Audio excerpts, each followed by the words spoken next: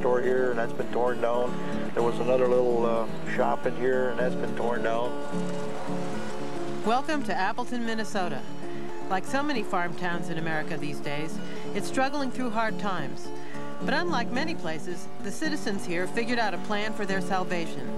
The Prairie Correctional Facility, an ultra-modern, state-of-the-art prison funded by private investors and the city of Appleton to help revive the local economy.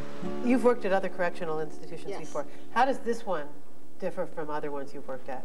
There are no inmates. Strangely enough, in these days of prison overcrowding, the Prairie Correctional Facility has been sitting empty since last year, unable to convince other states to send their overflow prisoners to Appleton. We've ran into some problems because of uh, uh, legislature and uh, money being appropriated. Well, it's a private-owned deal, they say, and we've got to get out-of-staters.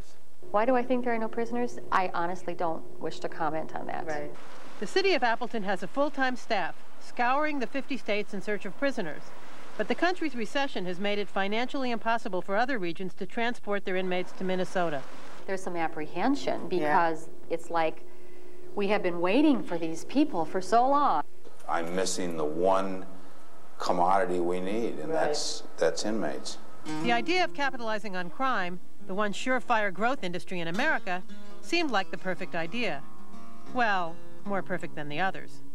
Oh, we looked at um, different types of manufacturing, uh, anywhere from pipes to telephones to circuit boards, floor rugs or uh, um, braided wall hangings. everything from freeze-dried pets. Freeze-dried pets? What in the world is that?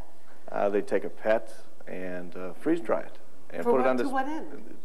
to display it, like a, a mouse or a, a gopher. we didn't want a nuclear waste dump, which the federal government tried to put up here in the in the Indian reservations. Meanwhile, in order to remain eligible for inmates, the prison sits fully staffed with all kinds of personnel, eagerly awaiting the day when prisoners will arrive to make their dreams come true. If you had a wish list of the favorite kind of prisoners that you would have here, do you have any particular kind you'd like to see here? Yes. Old-time murderers.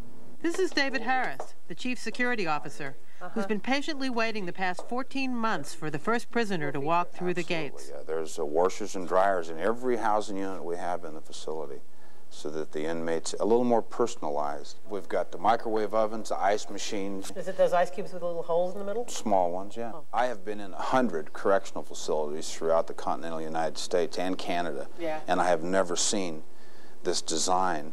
So this is real innovative, this, this. What do you call this?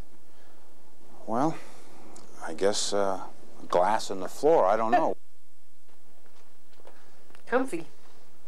We're hooked up to the cable system now. I have HBO and Oh, really? Cinemax and Showtime. Calligraphy, beginning watercolor. One of the things that I've learned in talking to the people who have done program planning in prisons is that the arts are a really fun part of, of a think. program.